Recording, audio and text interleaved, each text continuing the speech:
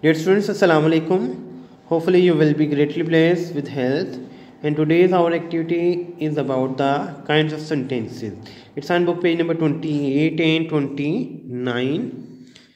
Uh, there are four kinds of sentences. First one is statement. Second one is question. Third one is exclamation. And fourth one is command.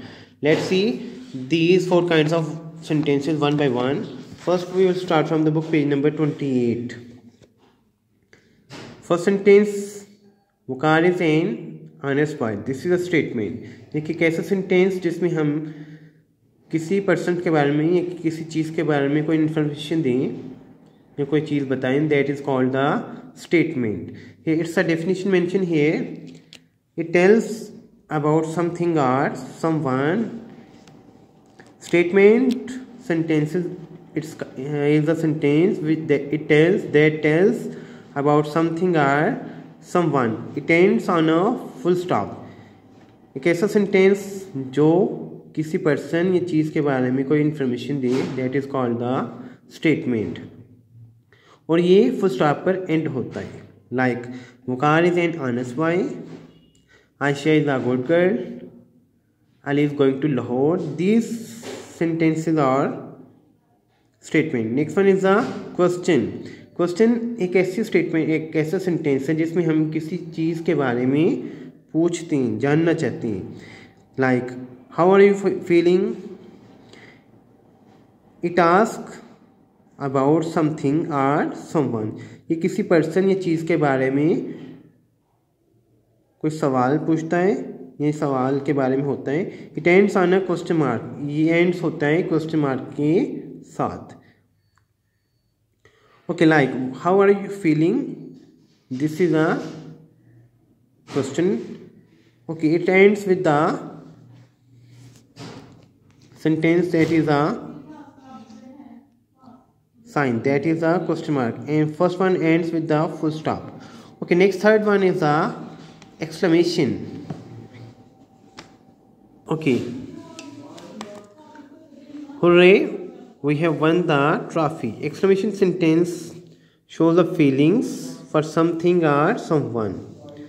यानी कि किसी person या चीज़ के बारे में कोई feelings को ज़ाहिर करती है, बताती है it ends on a exclamation mark यानी कि एक ये फीलिंग्स सरप्राइज़ भी हो सकता है कोई।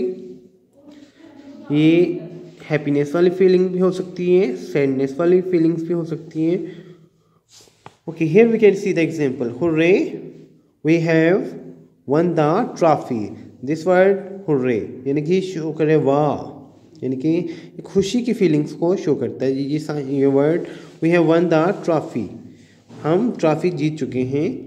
Okay this sign is called the exclamation sign this sign is called the exclamation sign this sign is also called the exclamation sign okay exclamation sentence हमें किसी पर्सन या किसी चीज़ के बारे में कोई फीलिंग्स कोई सरप्राइज़ के बारे में इंफॉर्मेशन देता है ये बताता है। It ends on an exclamation mark okay next one is about the command next one is about the command okay we can see that uh, sit quietly command.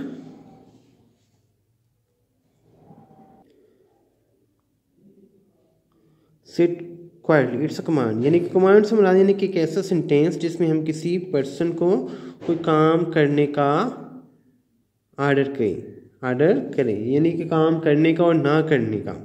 It shows something something set to be done by someone यानी कि ये एक ऐसे sentence की kind है जिसमें हम किसी पर्सन को कुछ करने का कहें।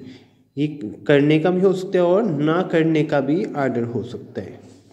Okay sit quietly sometimes we say that don't make noise both क्या है both sentences क्या हैं आर्डर ही हैं और इसको हम किसमें लिखेंगे कमांड में next dear students I hope that you will understand this today's lecture what you have to do next next you have to